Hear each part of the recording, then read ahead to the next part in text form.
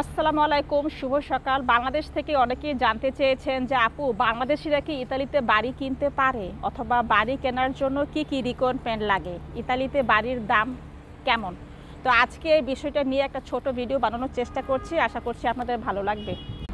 একটা সময় ছিল যে ইতালিতে হাতে গণা দু একজন বাংলাদেশিরা হয়তো বা বাসা কিনতো। কিন্তু এখন আমরা এমন একটা এমন মানে এখন বর্তমানে ইতালিতে প্রচুর বাংলাদেশিরা মানে নিজেরা থাকার জন্য বাড়ি কিনেছে। আর শুধু বাংলাদেশিরা বাংলাদেশিরা না ইতালিতে অনেকেই আছেন যারা হচ্ছে যে স্থায়ীভাবে বসবাস করছেন বা তাদের সন্তানরা এখানে বড় হচ্ছে এবং যাদের হচ্ছে চিন্তা ভাবনা এমন যে তারা হয়তো বা ইতালিতে সেটেল হবে, তাদের মধ্যে অনেকেই নিজেরা বাড়ি কিনছেন। হ্যাঁ তো আমি বারো বছর আগে আমি যখন ইতালিতে আসি, তখনও আমি দেখেছি যে হাতে গোনার দুই একজন বাংলাদেশিরা হচ্ছে নিজেদের বাড়িতে থাকতেন। কিন্তু এখন কিন্তু ইতালিতে অহরহভাবে অনেক বাংলাদেশি ভাইরা বাড়ি কিনছেন। তার একটা কারণ হচ্ছে, ধরেন আমি যদি ভাড়া থাকি, তাহলে কিন্তু আমি প্রতি মাসে যে ছয়শো সাতশো ইউরো করে ভাড়া দিচ্ছি, এটা কিন্তু শেষ হয়ে যাচ্ছে হ্যাঁ? ধরেন আমি একটা বাড়িতে পাঁচ বছর ভাড়া থাকলাম, পাঁচ বছর আমি হচ্ছে যে এই পাঁচশো ছয়শো ইউরো করে দিলাম, এটা কিন্তু আমি পরে রিটার্ন পাবো না। কারণ যেহেতু আমি বাড়িওয়ালাকে ভাড়া দিয়ে দিচ্ছি, কিন্তু যদি আমি একটা বাড়ি কিনি, ঠিক আছে? সেটা বিশ বছরের মেয়াদে যদি আমি একটা বাসা কিনি এবং আমি যদি বিশ বছর পাঁচশো ছশো ইউরো করে ব্যাংকে দেই। তাহলে বিশ বছর পরে কিন্তু এই বাড়ির মালিকটা আমি হয়ে যাব বা আমি না থাকলেও কি আমার সন্তান এই বাড়িতে এই বাড়ির মালিক হয়ে যাবে? তো এই চিন্তা ভাবনা থেকেই আসলে বর্তমান সময়ে অনেক বাংলাদেশিরা মানে বাড়ি কেনার দিকে ঝুঁকছে এবং অনেকেই বাড়ি কিনে নিজের বাড়িতে থাকছে। আর শুধু বাংলাদেশিরা না ইতালিতে যে সকল বিভিন্ন দেশের লোকেরা হচ্ছে যে ইতালিতে যারা স্থায়ীভাবে বসবাস করছেন বা প- পরবর্তীতে আহ, স্থায়ী হওয়ার চিন্তাভাবনা আছেন, তাদের মধ্যে অনেকেই আছেন যারা নিজেরা বাড়ি কিনছেন। তো এখন আমি বলে দিচ্ছি যে আসলে বাড়ি কেনার জন্য কি কি রিকোয়ারমেন্ট লাগে। আপনি যদি ইতালিতে বৈধভাবে বসবাস করেন লিগেল ওয়েতে আপনার যদি ডকুমেন্ট থাকে এবং আপনি যদি একটা ভালো জব করেন পার্মানেন্ট জব আমরা যেটাকে বলি, ইতালিয়ান ভাষায় বলে হচ্ছে যে ইম ডিটারমিনাতো কন্ট্রাক্ট কন্ট্রাক্ট মানে আপনি যদি একটা পার্মানেন্ট জব করেন, দেন হচ্ছে যে, এবং আপনার ইতালিতে বাড়ি কিনতে হলে আপনার আপনার অবশ্যই এটা ভালো জব করতে হবে এবং আপনার স্যালারিটা মোটামুটি একটু হাই হতে হবে। তা না হলে কিন্তু বাড়ি কেনার জন্য আপনাকে ব্যাংক লোন দিবে না, ঠিক আছে? সো এই রিকোয়ারমেন্টগুলো যদি থাকে দেন আপনি বাড়ি কিনতে পারবেন। আপনি যদি ইতালিতে স্থায়ীভাবে বসবাস করেন লিগেল ওয়েতে আপনার যদি ডকুমেন্ট থাকে এবং আপনার যদি একটা পার্মানেন্ট জব থাকে এবং আপনার স্যালারিটা যদি একটু মোটামুটি হাই লেভেলে হয় দেন আপনি হচ্ছে বাড়ি কেনার জন্য ব্যাংকের মানে ব্যাংক লোন পাবেন, ঠিক আছে?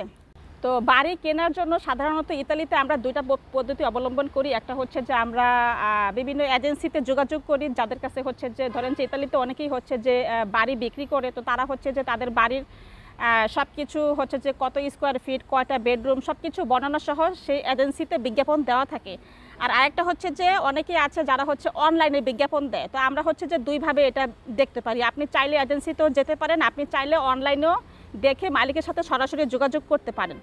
তো যদি আপনি এজেন্সিতে বাড়ি কিনতে যান, তাহলে হচ্ছে যে ওরা সবার প্রথমে দেখবে যে আপনি কি কাজ করেন, কত টাকা বেতন পান। আপনার এই সব কিছু বিস্তারিত জেনে তারা হচ্ছে যে বলবে যে, ঠিক আছে, আমরা এখন আমাদের কনসুলেন্সের সাথে যোগাযোগ করব যে তুই কত টাকা ব্যাংক লোন পাবি? আচ্ছা একটা কথা বলে দিই। ইতালিতে কিন্তু মানে নিজের টাকায় কেউ বাড়ি কিনে না। একটা সময় ছিল যে government hundred percent bank loan দিত বাট বর্তমান সময়ে হচ্ছে যে হান্ড্রেড পার্সেন্ট ব্যাঙ্ক লোনটা আর দেয় না, সেটা সত্তর থেকে আশি পার্সেন্ট পর্যন্ত দেয়, এবং বাকিটা হচ্ছে যে আপনাকে কভার করতে হবে, ঠিক আছে?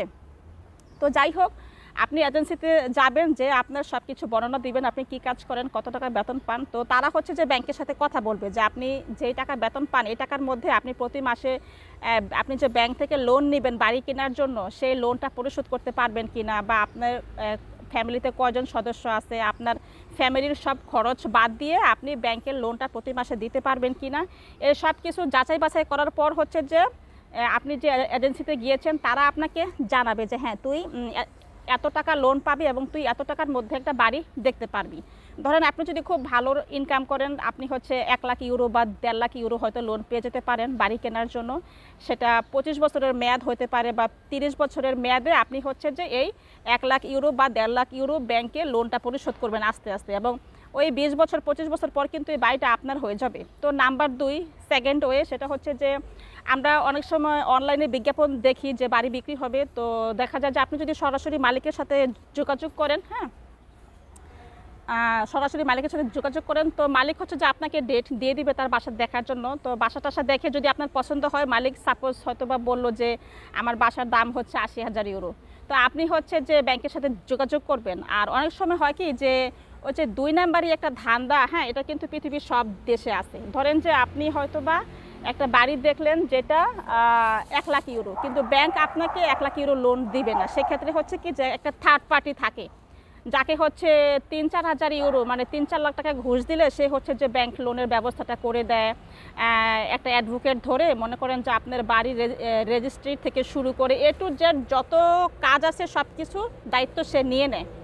তো দুইটা ওয়েতে আপনি কিনতে পারেন। একটা হচ্ছে এজেন্সির মাধ্যমে, একটা হচ্ছে অনলাইনে বিজ্ঞাপন দেখে সরাসরি মালিকের সাথে কনসার্ন করেও কিনতে পারেন। আর অনেক সময় হয় কি যে এজেন্সির মাধ্যমে গেলে কিন্তু আমাদেরকে একটা মোটা অঙ্কের টাকা এজেন্সিকে দিতে হয়, যেহেতু সে সব কিছুর ব্যবস্থা করে দিচ্ছে।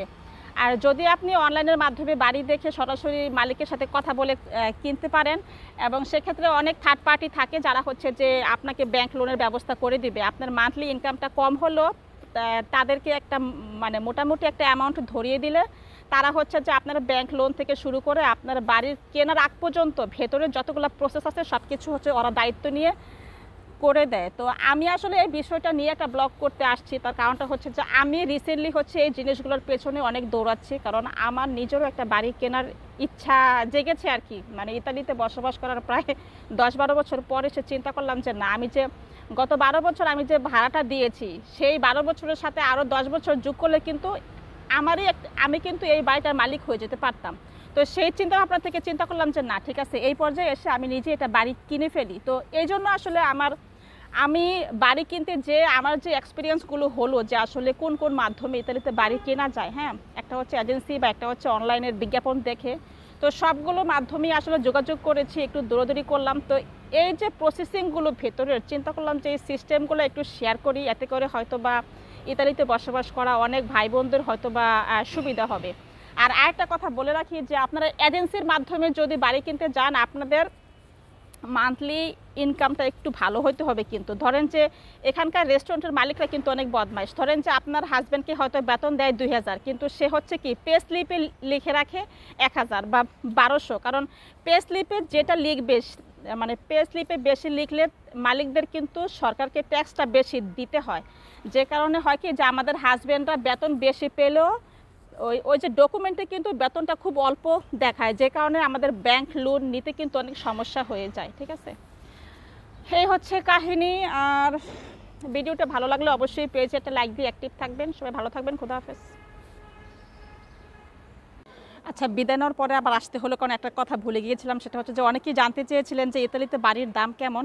তো সেক্ষেত্রে আমি বলব যে আপনারা যদি বাংলাদেশের ধানমন্ডি, গুলশান, বনানীতে বাড়ি ফ্ল্যাট কিনেন, তাহলে সেটার যেমন অনেক বেশি দাম পড়বে, আবার যখন মোহাম্মদপুরে কিনবেন সেটার একরকম দাম, আবার যখন মিরপুরে আসবেন আরেক রকম দাম, আবার যখন কোনো মফস্বল শহরে কিনবেন সেটার আবার আরেক রকম দাম। তো সেম ইতালি তো একই রকম, আপনি যদি ইতালির বড় বড় শহর কোনো অভিজাত এরিয়ার মধ্যে কেনেন, সেখানে আপনার পাঁচ থেকে ছয় লাখ ইউরো পড়বে, যেটা বাংলাদেশি টাকায় প্রায় পাঁচ থেকে ছয় কোটি টাকা। আবার যখন আরেকটু নর্মালে আসবেন, তখন আবার তিন থেকে চার কোটি, আবার যখন আরেকটু নর্মালে আসবেন, তখন হয়তো দুই থেকে তিন কোটি, আবার যখন আরেকটু পেছনে যাবেন বা আরও নর্মালে আসবেন, তখন দেখা যায় যে এক থেকে দেড় কোটি।